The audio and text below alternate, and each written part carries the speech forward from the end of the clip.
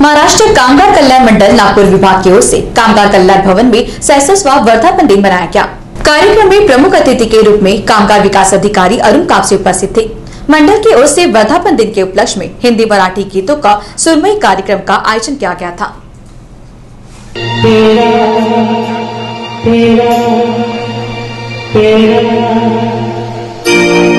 कोणाचा गंगा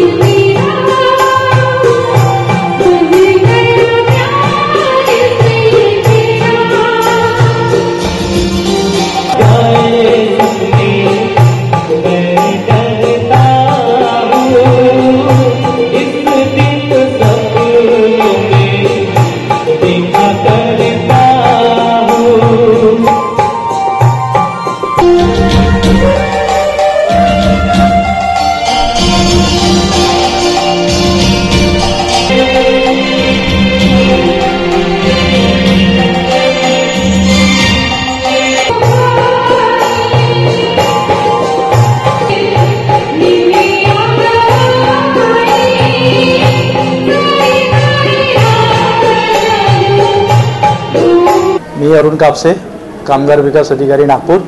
महाराष्ट्र कामगार कल्याण मंडळाच्या सहासष्टवा वर्धापन दिन आहे.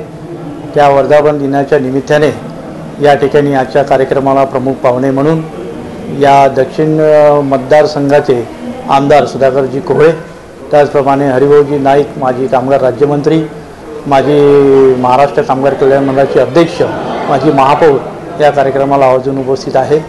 परिसरातील मान्यवर नागरिक कामगार व कामगार बंधू विविध आस्थापनाचे पदाधिकारी कर्मचारी बंधू आणि भगिनी वर्धापन दिनाच्या निमित्ताने या ठिकाणी आपण सर्व एकत्र जमलो. मी सर्वप्रथम सगळ्यांना हार्दिक शुभेच्छा देतो. महाराष्ट्र कामगार कल्याण मंडळ गेले सहासष्ट वर्ष कामगार आणि कामगारांच्या कल्याणासाठी त्यांच्या विकासासाठी त्यांची शैक्षणिक असो सांस्कृतिक असो क्रीडाविषयक असो किंवा आर्थिक लाभाच्या योजना त्यांना देण्याचे काम कामगार कल्याण मंडळ सातत्याने करत आहे. त्यामध्ये गेल्या सतरा आणि अठरा आणि एकोणीस या आर्थिक वर्षामध्ये जवळजवळ साडेसात हजार कामगार कुटुंबियांना शिष्यवृत्ती पाठ्यपुस्तक M S C I T असाध्य रोग U P S C M P S C यासारख्या योजनांचा लाभ या ठिकाणी त्यांना जवळजवळ अडीच कोटी खर्च मंडळाच्या नागपूर विभागाच्या वतीने करण्यात आला.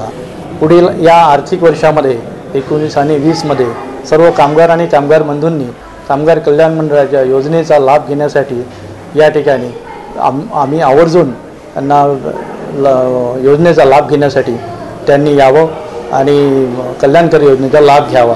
मी पुन्हा एकदा सर्व कामगार बंधूंना सर्व उपस्थित मान्यवरांना मंडळाच्या वर्धापन दिनाच्या हार्दिक शुभेच्छा देतो. मी महाराष्ट्र कामगार कल्याण मंडळाचा सहा वर्ष अध्यक्ष होतो. कामगार कल्याण मंडळाचा मुख्य उद्देश असा आहे की श्रमिक हे जे कष्ट करतात त्यांच्या जीवनामध्ये कुठेतरी विरंगळा हा आवश्यक आहे. हा विचार बॉम्बे प्रेसिडेन्सी असताना त्यावेळेला शासनाने केला आणि पहिली कामगार कल्याण मंडळाची सुरुवात एका मिल मालकाने केली. तेव्हापासून हे वाढत जाऊन महाराष्ट्र शासन आलं. त्याच्यानंतर कामगार कल्याण मंडळाचा कायदा आला आणि आज महाराष्ट्रभर अनेक ठिकाणी औद्योगिक केंद्राच्या व्यतिरिक्त सुद्धा हे सर्व महाराष्ट्र कामगार अभ्यासाची सोय नाही. त्या लोकांना या ठिकाणी फुकट काही एक वर्गणी न घेताना अभ्यासकाची व्यवस्था आहे. खेळण्याचे वेगळ्या प्रकारचे या ठिकाणी कार्यक्रम आयोजित करण्यात येतात. नाटक मंडळाच्या बाबतीतसुद्धा या मंडळाने कामगारांना नाटकाची एक कला जी आहे ती अवगत व्हावी आवड निर्माण व्हावं अशा प्रकारे नाट्यसंमेलनंसुद्धा या मंडळामध्ये होत असतात. अनेक प्रकारच्या ॲक्टिव्हिटीज आज कामगारांना पोषक अशा रीतीने या मंडळाच्या मार्फत सुरू आहेत. आणि अशाच प्रकारे या मंडळाचं कार्य चांगल्या रीतीने वाढत राहो ही माझी सदिच्छा. आज पासष्ट वर्ष झालेले आहे. या मंडळाच्या सुरुवातीला माझ्या मी हार्दिक शुभेच्छा देतो.